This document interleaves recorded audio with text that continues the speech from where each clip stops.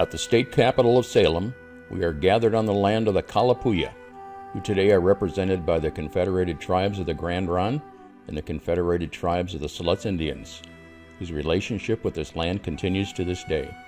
We offer gratitude for the land itself, for those who have stewarded it for generations, and for the opportunity to study, learn, work, and be in community on this land.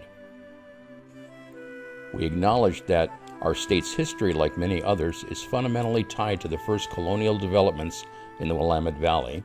And finally, we respectfully acknowledge and honor past, present, and future Indigenous students of Oregon.